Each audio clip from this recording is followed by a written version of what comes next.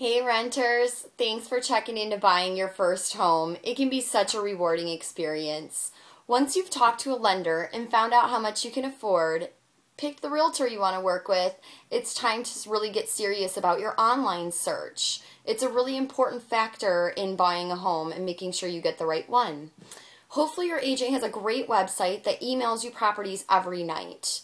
If not, you can schedule your search on a site like Redfin. You want to customize your search parameters to price, beds, baths, square foot, and the school district or city that you prefer.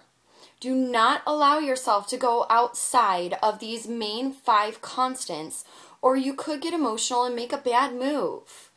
When you see a property that you like, immediately let your agent or me know so that we can set up a showing for you.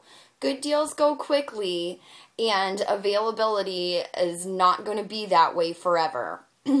Make sure that you have time to go out looking for a property if the right one comes on the market. Also, a word of warning photos and videos don't always tell the whole story. Some properties look much better on the internet because they had a professional videographer or photographer using that listing. Other properties do not have the same budget, so they won't have photos and they won't have videos. Don't eliminate a potential property in one of your favorite neighborhoods just because it doesn't have good photos or videos. Take the time and go out and look at it.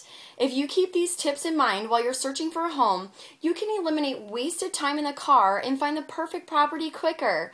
If you need other buying tips, call us or watch the rest of our video series on buying your first home.